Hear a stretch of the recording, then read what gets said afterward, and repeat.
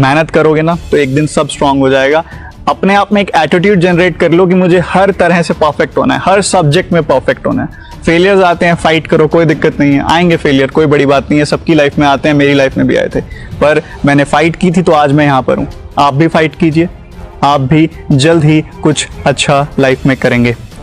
एक किसी ने बहुत खूब कहा है कि जिनके सपने ऊँचे और मस्त होते हैं, इम्तिहान उनके ज़बरदस्त होते हैं।